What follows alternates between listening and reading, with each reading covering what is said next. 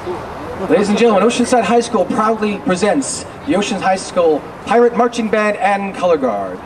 Our band is led onto the field by our drum major, Shante Moffat, with horn sergeant Tara Aguilar, drum captain Brian Moreno, pit captain Brittany Jackson, with color guard leaders Teresa Thomas and Jenna Castro. We present our 2006 field show entitled Tales of the Nile. First movement is called Nefertiti's Palace, followed by Memphis and the Pyramids. And now, ladies and gentlemen, the Oceanside High School Pirate Marching Band and Color Guard.